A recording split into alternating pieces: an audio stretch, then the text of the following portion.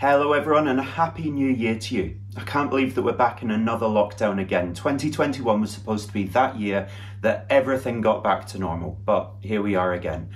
This year though we have got the brilliant app Seesaw that we're going to be using for sharing home learning. Now Seesaw, as those of you that have downloaded it will gather, is a great way for us to share your children's learning while they're at school. Um, but during the time that they're actually learning from home, it's a brilliant opportunity for our staff to be able to share video lessons that's pre-recorded or live lessons um, actually teaching your children the next steps in their learning rather than just revising stuff they've done already. We want to keep them learning and we know that that's what you want as well um, and this is the best way for us to do it. So I, I want to show you some of the things that you might not be getting at the moment on Seesaw. Um, I know in speaking to a few parents, some of you are a bit confused about how it works. So I've downloaded the Seesaw for Class app and the Seesaw Family app. You need them both. Um, your children will have the Seesaw for Class app and you yourselves will have the Seesaw Parents and Carers app or Seesaw for Family app.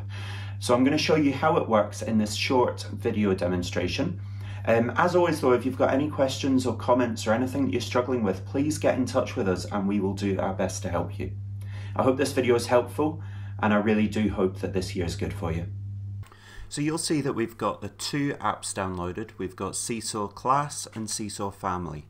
Now class is the one that the children will be using or if it's a younger child um, that you need to use it for them then have it on a device that they can also use and I'll show you why in a wee while and I'm thinking especially for nursery and primary one. Seesaw Family is the app that you'll have on your device but we'll start off with the Seesaw Class app.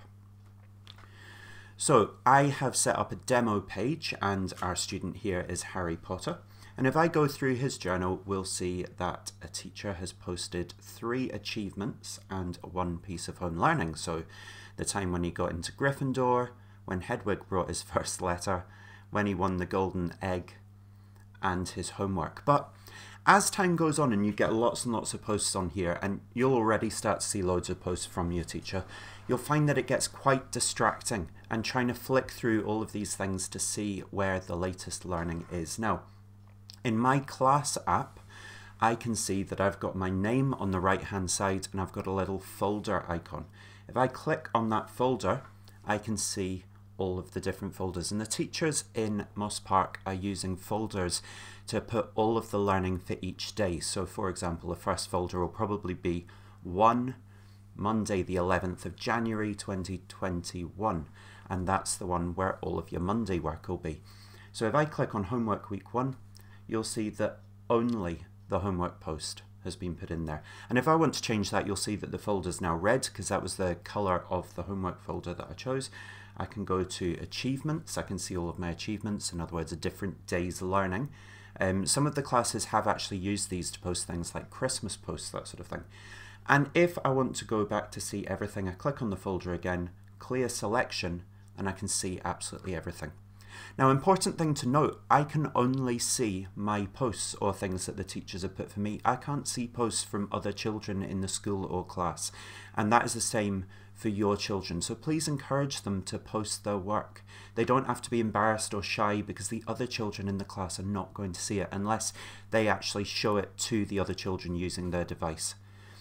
Some of the teachers are not just posting activities to the journal though. You'll see that um, just underneath where it says Seesaw Demo, it says Journal Activities and Inbox. If I go to Activities, the teacher might have posted some activities in here. And again, that can be put into folders. You've got the folder icon. I've not set any up for Harry Potter, but it works the same as the journal. And finally, you've got inbox. That's where if the teacher sends a message to individual students, they'll come up in the messages and over in notifications this is where you'll see everything that's been added and what people have said. Um, it'll highlight if there's a new activity in the notifications. If I want to sign out, say I've got multiple um, children using one device, which will happen, obviously we've not got loads of devices and if you've got more than one child at home, this can get a bit tricky, but any child can sign out of their device. They click on their name in the top left hand corner and then go to sign out. I'm not going to do that just now. It is important, therefore, to keep a copy of the code that you use to log in, especially if you've got more than one child, if they're not just using the one device, um, so that the children can just scan it as they go. And if you need that code, just get in touch and we'll send it to you.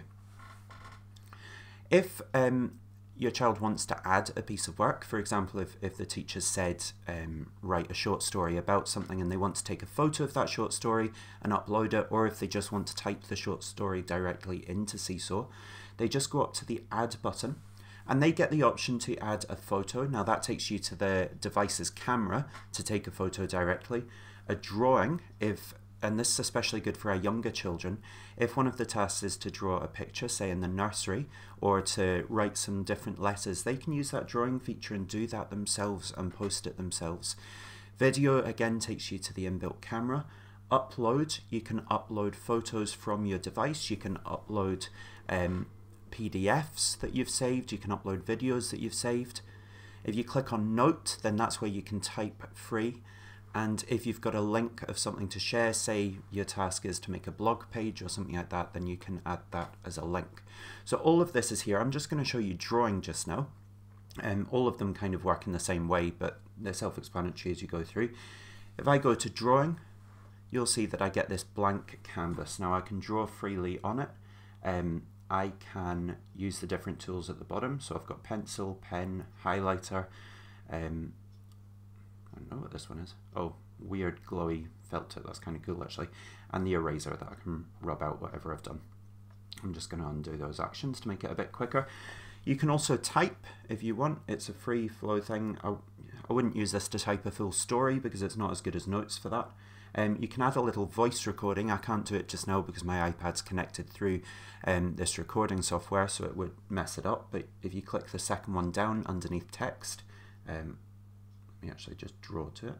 This one here, that's the recording button.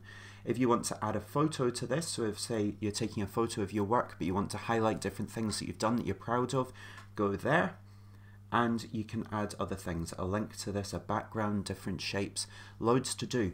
It's not just restricted to one page though. Up in the top right hand corner below the tick, sorry, my iPad's doing something weird on the screen.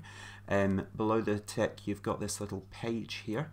I can add more pages and then it becomes like a slideshow that you can flick through and your teacher can flick through. And you'll see quite a few of our teachers have done that sort of thing where you can flick through different things in one post rather than having it all underneath each other. Once you've finished, you just click the tick and that's it done. It goes straight onto your journal. You'll see once it's uploaded it says waiting for teacher approval. Now this is a safety feature because if we take um, a photo of something that's for multiple students, obviously the children will be able to see the comments that are written underneath that from whoever it was tagged to. So this is to make sure that children don't post anything mean or offensive and equally for parents that um, we're not abusing Seesaw and the communication tools on. So every single post will have to be approved by a teacher. Um, so you can rest assured that your children won't be able to post inappropriate things on here. So that's really it for the Seesaw class app. There's not much else to it. You can play around with some of the other features. So if I go back onto the family app this time, it is a different layout. Um, this is the first time I've logged in on family here, sorry. So you'll see I've already connected to my child, um, which is Harry Potter in this case. That's pretty awesome to say Harry Potter is my child. Um, but you can add more than one child to this. So if, say, for example, you've got three children in the school and one in the nursery, then you can have all of them on this. You can have as many children on this um, as possible, although obviously there's a limit there. Um, but you just click on the Add Child's Journal and it will take you to that scan the QR code um, provided by your teacher or insert the, the um, code that's given. We can actually connect you remotely. So if um, you've lost those sheets, I can connect a family journal via your email. So if you just drop me an email, I'll get that done. If you're watching and your child's in a different school, please do not um, email me for that. Email your child's teacher. So we've got the ability to have multiple children on the one account, which is one of the huge things about Seesaw. But you'll notice one of the things you can't do is upload work. Um, sorry, I've just clicked on journals there. You can't upload work to this. You can only view make comments and like different work. So I could comment on this to say, well done, Harry. I could even leave a voice comment if I wanted instead of typing, because I know some people don't like typing. That's absolutely fine. You can leave a voice comment. If you click the three dots, you can share or save it as well. You can keep um, photos on your device of your child learning, which makes it really quite nice. It means that you get that wee bit more inside the classroom. And you can print a QR code of any post as well, so that you can share that with friends or family. But you can again see everything um, that your child can see. So the home view here, if you had multiple childs, will show them all on the one page. If you want to just see one of your children and the work that they're doing specifically, if you go into journals, you've got the option there to add another child's journal, or you can go up to your child's name you can see the class that they're assigned to. So my one's in Seesaw Demo. If they were in multiple classes, for example, they were in high school, then you'd be able to see all of the different classes and navigate through that way. You click on Seesaw Demo, um, you can see all of their posts as we did before, but it will only have that child's posts.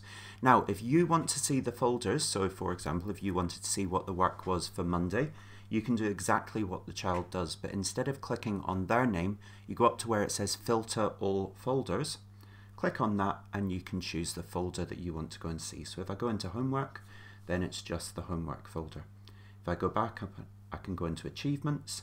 It's all of the achievements. If I want to clear that, I just press the X in the top right hand corner and it shows everything for that child again and your inbox in the top right hand side. Any messages from your child's teacher will appear in this part. Um, you can only message your child's teacher if that feature has been enabled or if they've messaged you first. Um, and again, we would ask that you don't abuse that system, just it, it, use your school's normal lines of communication is the most effective way. And any notifications that have come through about your child's activity will appear in there.